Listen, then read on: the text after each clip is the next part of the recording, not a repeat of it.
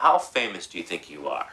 Uh, you are way more famous than any of my friends. That's okay. I, Have you ever heard of the National? They're from here. I'm his brother, and I'm supposed to go on their tour bus. This is one of the most talked about bands on the planet. I think I'm gonna get together with them. I'm gonna be making this rock doc. I do have a brother, but he's more of a metalhead. I think he thinks indie rock's pretentious bullshit. Two weeks ago, Matt called. He asked if I wanted to go on tour and be a roadie. I had no idea he'd never been to Europe. Welcome to Paris. Ooh, this doesn't even look like my arm. It looks like another person in the room when I do this. Who is that? I just want to have fun on tour. I'm with a rock band. You just need to be careful about not partying. You're not a band member, you're a crew member. Have you done uh, towels? Yes. Water bottles? Yep. Everything's cool? Everything's cool. I need towels and water bottles.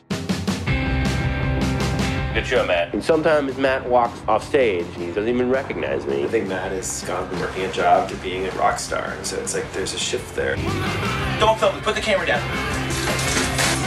Matt, am I fired or what? I cut through some pretty good stuff. That's not your job description. Have you checked your job description? I feel like the only reason why he thinks I'm on tour is because I'm your brother. The only reason you are here is because you're, you're my brother.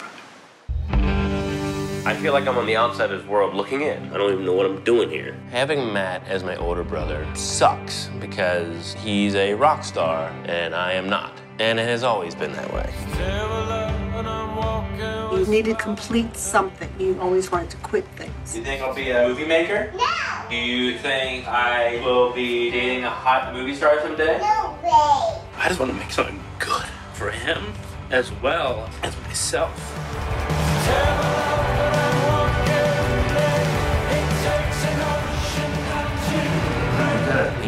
Lean towards the things that make you like yourself. Forget everything else. My brother sees something in me that I sometimes don't see in myself.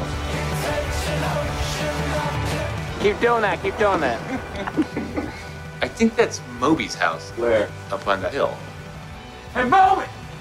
Don't yell at the fucking neighbors.